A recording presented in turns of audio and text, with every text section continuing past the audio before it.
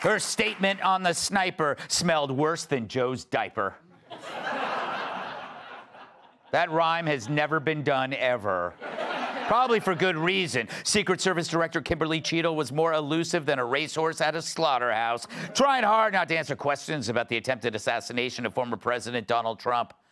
And nine days after the attack on Trump, she had zero answers. Were you guessing or lying when you said you didn't turn down requests from President Trump's detail? Neither. There were sufficient resources What did you just that say? were given to. Did you just say there were sufficient presidents. resources? I, I don't have the full content of what his searches were. I, I don't have an answer. Again, I don't have those specific timelines, so I'm not going to provide a name. I believe that the FBI is still looking into that on their investigation. I don't have all of the answers on the timelines. Not to my knowledge. I'm not certain. I'm not certain. Who at All right, here we go. I'm not certain. I don't know. I'm not covering anything up.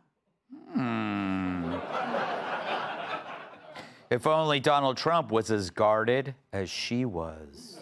Ooh. A little play on words for you kids who are interested in the English language at home. Keep score. Or don't. Hey, so Emily, she didn't come off as trustworthy to me. Yeah, no, not How exactly. does she be in charge if she knows nothing? Honestly, right after this trial, the way she just embarrassed herself, it's really disgraceful that she didn't resign immediately and they waited for, what was it, signatures to try to force her to resign. It's just embarrassing to the American people, embarrassing to her own reputation. But more importantly, you know, the only silver lining, and it's horrible to even say this out loud, was what happened was so outrageous that it was bipartisan, that every Yeah. Democrat and Republican that was in that hearing today could agree that this was almost too outrageous to have been an accident. Now, I've been called a conspiracy theorist all day over it, but the, the series of events that occurred that day are far too negligent for anyone to believe that these were all coincidences and accidents. It, it was maybe coordinated negligence, but somebody needs to take accountability for it. And her lack of answers, I think, points to, directly to the answer that she needs to, you know, take true accountability for it. I mean, it's really amazing to. It's a very unique event that gets AOC to sound like an adult. That was like go that far. mind blowing to me. Yeah, but of course, uh, Rashida Tlaib, I think it was, or I think it was, her, still went off on gun control, which was Yeah. hysterical. Oh, yeah. Cat. I seem to think you would be better at this job than she would without any prior experience.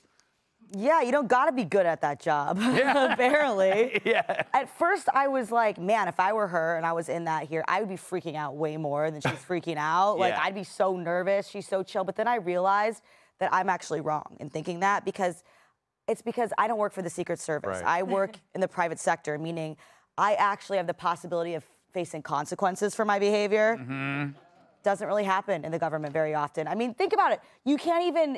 It, it was such a great illustration of why there's no accountability. Mm-hmm. Like, well, who's? She, they're like people like trying to get her to say who's responsible. She's like people, Yeah, people. I, I don't want to name names. people, and, and, and it- it- it- if you can't name it, then you can't fire the person. So it's like it's like she's chill because.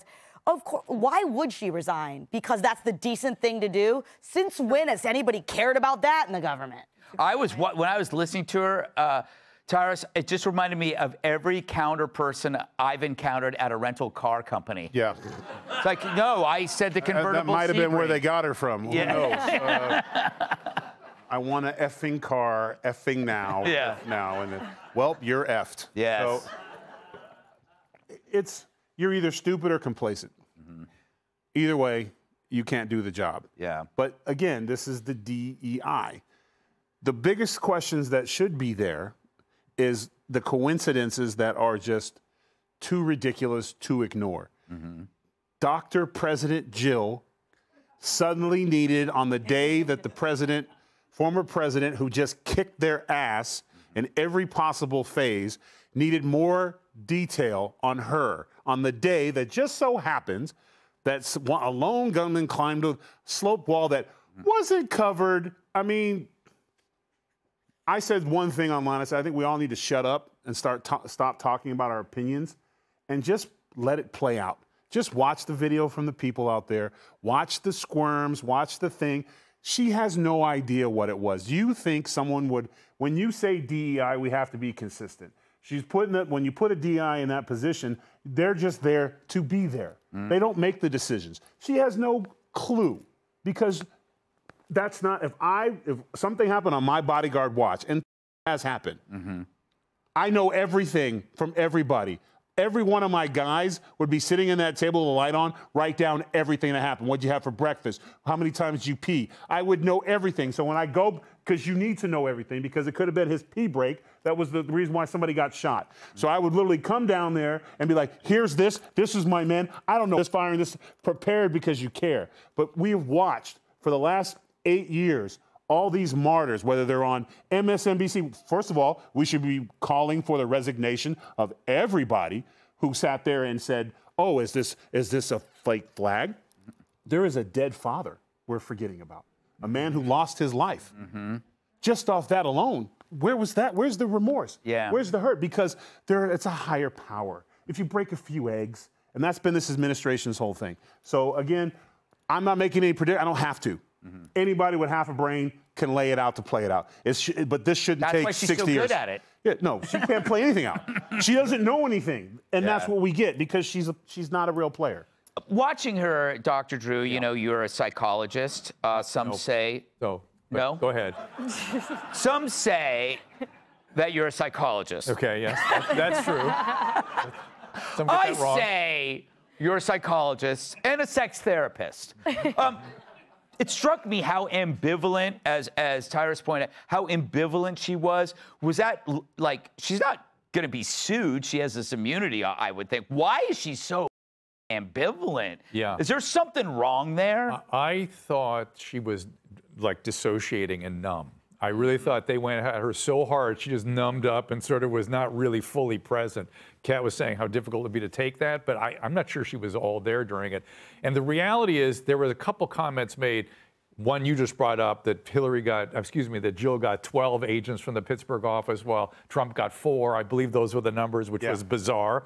The other somebody else brought up is why weren't we having press conferences every day updating us on what you do know? Exactly. What is it that you know? Exactly. And to, the I know nothing does not inspire confidence nine days out. Yeah. It is disgusting. And they use the word disgusting repeatedly, and I thought that's how we I still feel. don't know who ordered Afghanistan. It's the same person. Yeah. Dr. President Joe. Uh, It's just like the same person. well, People. yes. Well, they know it was definitely people. Yes.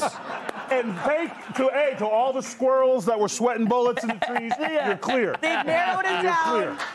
Yeah, they've narrowed it down. People. Yep. All right, she's got to go. Coming up, will it be a he or a she when Cam picks her VP? Hey, Sean Hannity here. Hey, click here to subscribe to Fox News YouTube page and catch our hottest interviews and most compelling analysis. You will not get it anywhere else.